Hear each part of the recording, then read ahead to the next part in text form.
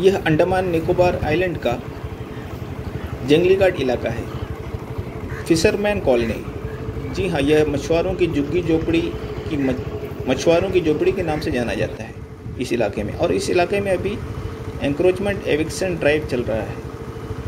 जितने भी सरकारी ज़मीन में अतिक्रमण किया गया है, उस अतिक्रमण को हटाया जा रहा है। यहाँ के लोग परेशान हैं कि यहाँ पे अक्सर गरीब लोग रहते हैं कि यह समुद्र में लहरों के थपेड़ों को जेल करके मछली पकड़ते हैं और मछली को ला करके बाज़ार में बेचते हैं, कि अक्सर जो है ये मछुआरों का इलाका है।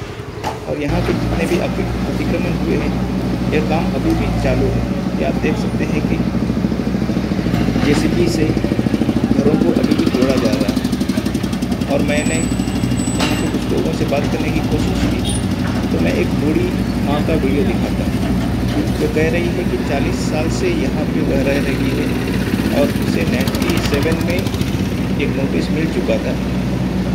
लेकिन अभी बगैर किसी नोटिस के, बगैर सूचना के उसके घर को तोड़ दिया गया कि उनके सामान रखे हुए हैं। अब वो परेशान है कि कहाँ जाए, सामान को लेकर के कि अपना आशियाना कहाँ बसाए। आप देखिए, यह क्या कह रहे हैं।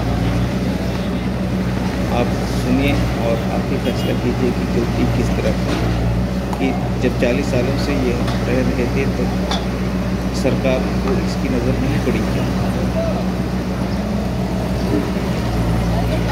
लोग अपने आशियाने से बची कुची सामान जो ज़रूरत की मिल जाए, उसे समेटने में लगे हुए हैं। कि लोगों में परेशानी है कि क्या करें, क्या ना करें, और आगे की ज़िंदगी कैसे चले। आप देखिए बूढ़ी माँ क्या कह रही है।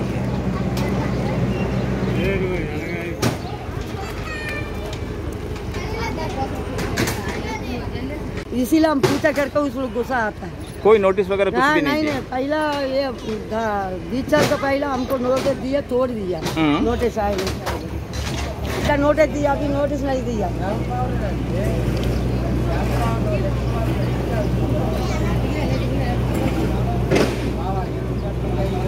अच्छा अभी कोई नोटिस नहीं दिया? आ, हाँ, किसी को नहीं है किसी को नोटिस हाँ, नहीं है? किसी को नोटिस सीधा आकर के खाली करने के लिए तोड़ना शुरू कर दिया? अभी शुक्र का बोला है। हाँ। सब खाली करो सब खाली करके बोल रहे इतना जल्दी कैसे खाली होगा वो अच्छा शुक्र को आके बोला कि खाली कर हाँ।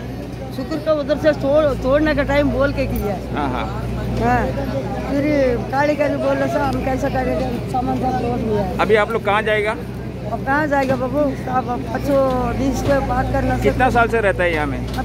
चालीस सालों से। चालीस साल हो गया। हाँ। चालीस साल से यहाँ रहता है? हाँ चालीस साल का देखो ये हम बना के दस साल का पहला आके हमको तोड़ के ये नोटिस दिया। अच्छा। है। बनाया अस्सी सात में। इधर। हाँ, हाँ। ये नाइन्टी सेवन का नोटिस है। हाँ दस लोग पंद्रह साल की कुछ नहीं बोला है। उसका उसके बाद शांत कृष्णा काउंसलर है ना हाँ। वो काउंसलर आके तीन बार हमको तोड़ दिया। ठीक।